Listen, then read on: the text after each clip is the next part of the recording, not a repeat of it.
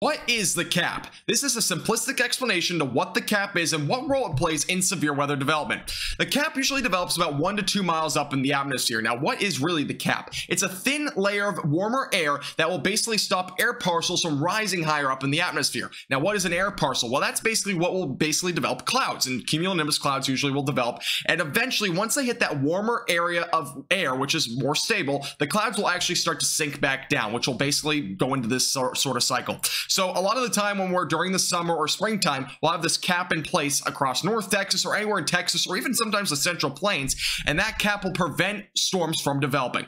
Now, when you go on the right side of your screen, when there's not that warmer area of air, we'll eventually have more of a trend where we're having warmer to cooler air instead of warmer to cooler to warmer air. So basically what we're looking at with no cap is that it's just from warm air to cold air, and that's what we're looking at as clouds develop. And that will help for cumulonimbus clouds to basically skyrocket and develop into thunderstorms, which can sometimes become severe.